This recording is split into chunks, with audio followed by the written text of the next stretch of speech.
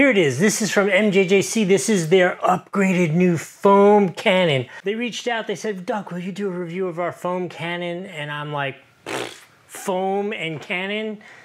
I, I, tried to say no, but that, I was like, of course, send it to me, I'll do it.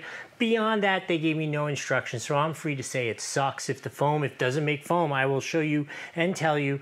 But I'm hoping it does all the things they say, right? So this new upgraded kit is supposed to make amazing, creamy, thick foam. It just makes me smile thinking about it. Let's open it up, take a look at what comes in the kit and talk about some of the features, and then we gotta go out and make some foam, which almost sounds inappropriate to say that, but um, okay, let's check it out.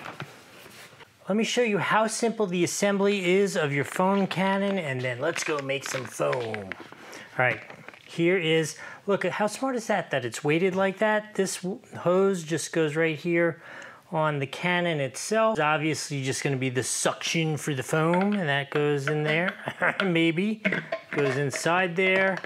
This is a quick connect, just goes like that. Boom, you are connected. One foam cannon all set up there. And then you need the connection for your power washer, which here is the connector. And I do say it's nice, it comes with a couple extra O-rings in case you should wear yours out. And this is just connects on here. Boom, standard male connection. We are ready to go make some foam. Let's take it outside, do that. All right, it is time to make the magic happen with some foam. Speaking of the magic happening, if you happen to be an attractive woman who would like to be foaming the car in your bikini, would be much more appropriate and interesting content than me doing it.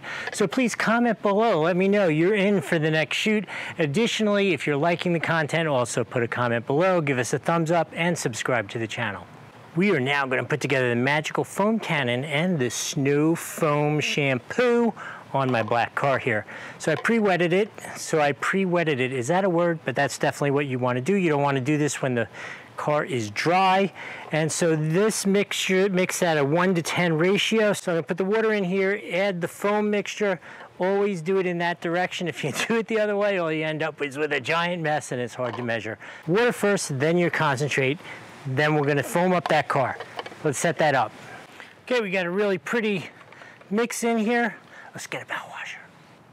Never, never, never, never in a million years did I think that would work so well.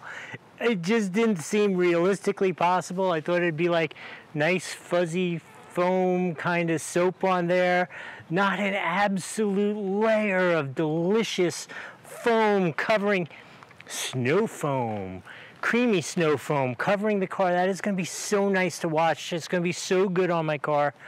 I hope this was helpful. This thing is so cool. This is absolutely a 7 out of 5 on the Doug score. 7 out of 5. Highly recommend this. That is so cool. Anyway, I will see you next time.